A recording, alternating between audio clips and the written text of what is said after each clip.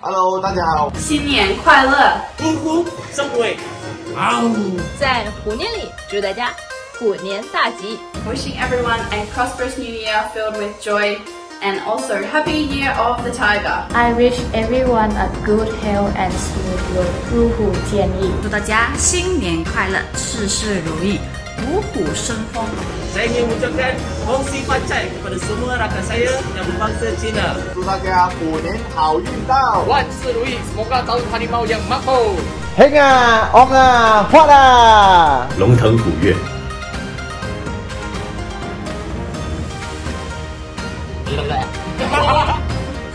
Raw.